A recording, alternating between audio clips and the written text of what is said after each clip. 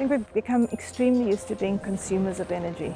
So if we look at the rapid pace of modern day life, we're all driving around in our cars, using our buses and trains.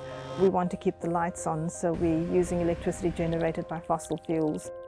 So we don't really understand how much fuel we're consuming. And I think it's time for us to pause. Step back and think where it's coming from, what the impacts are, and not necessarily slowing down that rate of progression, but just finding an alternative means of feeding that rate of progression with green fuels. If we need green fuels to fuel industry at scale, we need to work together.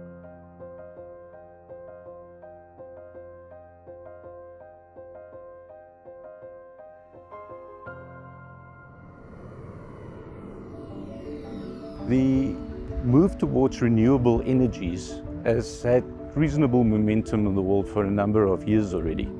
But there's certain specific sectors which are traditionally extremely hard to abate. Aviation is one of the most challenging sectors to decarbonize because it requires fuels of high energy density but also high volume density.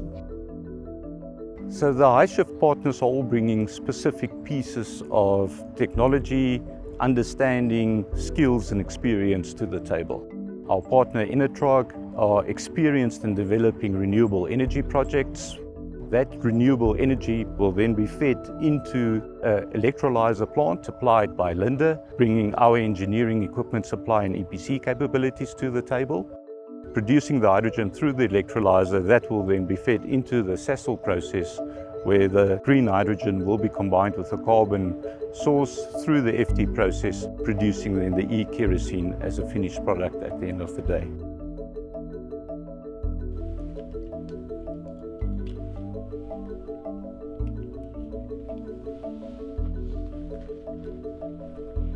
Sasol's unique advantage is that we have licensed technology and existing assets that we can use to produce e-kerosene.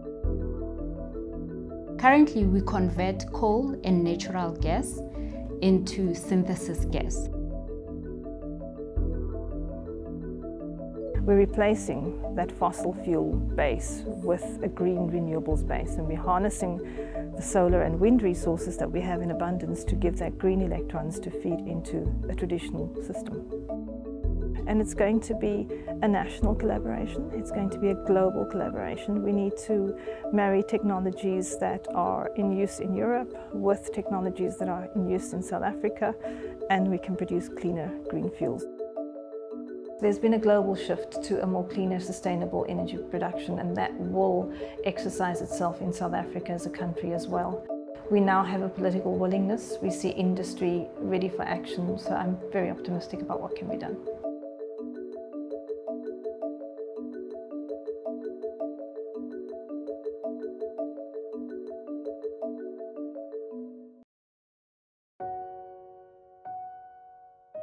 Imagine a world where you can travel, see friends and family without leaving such a heavy carbon footprint on the environment.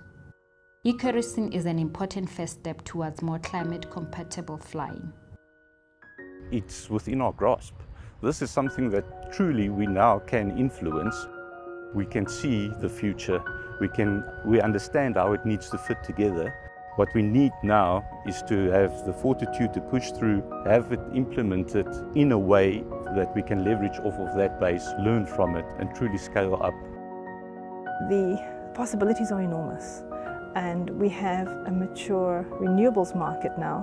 I think it's ready for the country to elevate itself to the next level and be a, global contributor to clean fuel and sustainable living.